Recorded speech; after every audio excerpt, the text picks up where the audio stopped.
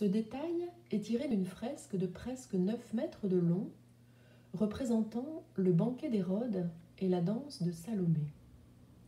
Je n'ai pas forcément envie de m'attarder sur l'ensemble de l'œuvre, il y a trop de monde. Le peintre sait très bien pourtant où il veut diriger mon regard. C'est vers Salomé qui danse en pleine lumière, entourée de tous les convives qui l'admirent. Eh bien non, décidément je n'ai pas envie de regarder Salomé qui danse.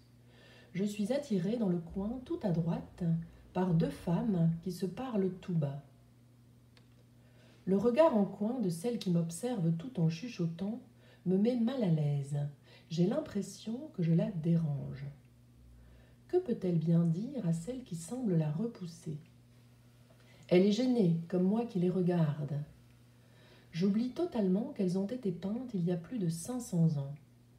Leur regard si vivant, leur bouche entr'ouverte sur une conversation que nul autre que le peintre n'a plus jamais entendue. Lui seul sait ce qu'il voulait leur faire dire.